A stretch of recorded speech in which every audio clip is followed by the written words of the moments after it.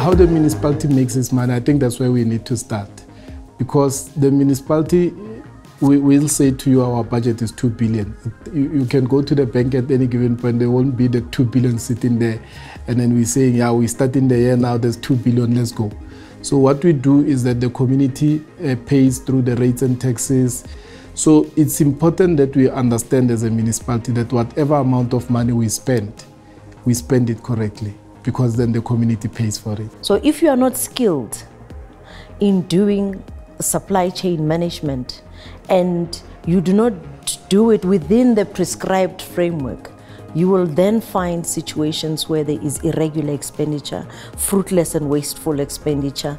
Therefore, through GIZ assistance in making an assessment of the capability of a municipality, they then give us a report to say, this is what we have found in these municipalities that we have assessed. And these are the key challenges. And in, in that process, GIZ will also assist us in trying to provide an intervention mechanism like training that will need to be provided for those municipalities. ADM used to have um, a, a serious challenge in terms of supply chain. The trainings that we have undergone overall in, in, in, in, supply chain has assisted us in improving how we do things and how we perfect uh, our trade in terms of delivering the service to our people.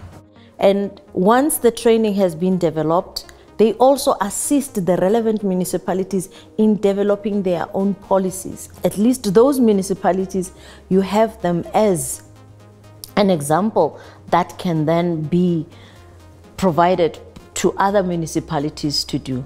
Supply chain management, be it public sector or private sector, is not recognized as a discipline. And yet, it performs a critical role in supporting any institution. There isn't any strict qualifications. And there is absolutely no uniform standard of appointment. There isn't a uniform code of ethics. And you do not have to do anything to practice in that environment. And thus, the need to ensure that this entire discipline is professionalized. What makes professionalization matter for all South African is that all the goods and services that are bought within government are done through the supply chain management process. And now GIZ has seen this as one of its capacity, uh, as one of its function, its capacity building.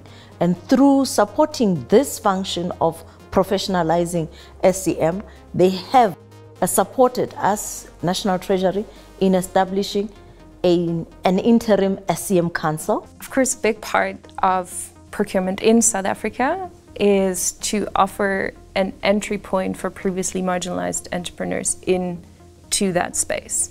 Um, and if we look into that, talking about previously marginalized, females, of course, are a big part of that group. The idea of governance is to really serve the entire population. 50% of that population are women, or people who identify as women. Gender responsive procurement promotes equality most importantly, because in the past you would see that a whole lot of work goes to um, a certain kind of people, like males, for instance. What we did in Amatole um, is for once we supported them on their procurement policy to include gender as a component of preferential procurement. And the second thing that we did jointly with UN Women um, was to train at female entrepreneurs on how to access those tenders. Another part of that was a big conference. So we wanted to have a dialogue between the municipality. We included national government as well, um, the people responsible for the update of the public procurement bill or the new public procurement bill, um, to really speak to those female entrepreneurs.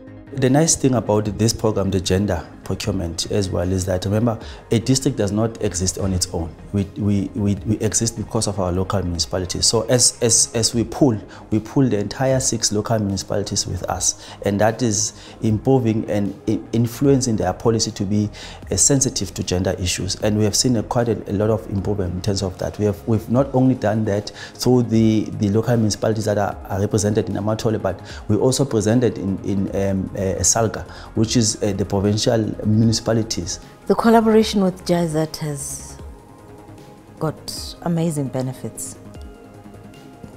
You know, they say that when you do something alone, it becomes difficult. But when you come together, it becomes easy to achieve.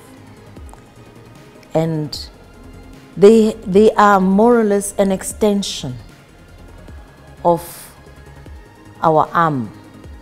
We can go so far, but they're able to go where we are unable to reach.